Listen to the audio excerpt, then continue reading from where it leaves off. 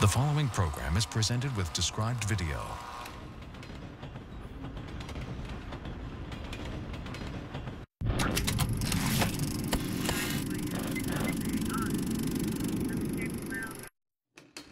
This program contains scenes of violence, extremely coarse language, and mature subject matter. Some adults may be offended. Viewer discretion is strongly advised.